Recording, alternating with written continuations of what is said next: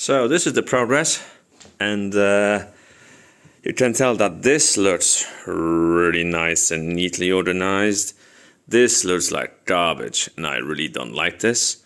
So I'll have to uh, convert this into this type of style. Let me just zoom out slightly.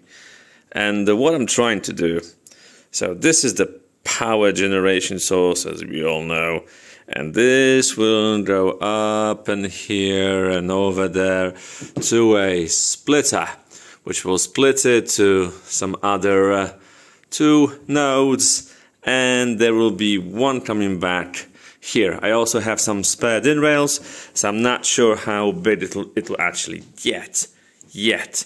So I'm still working on the layout of the entire contraption so I can demonstrate in a better way what I want to convey here. And uh, yeah, but it, it, look at this. Look, you can't just have an installation like this. Just, just, just no.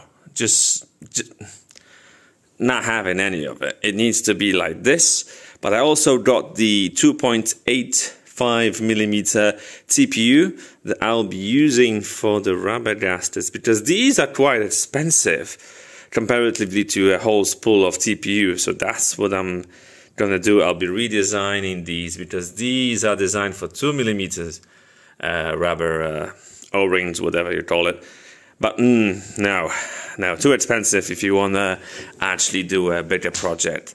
So yeah, there it is, and uh, there'll be some progress, hopefully soon and I'll get the layout right to do a proper light demonstration. Uh, yeah, that's it. Hopefully that made sense. Thanks for watching.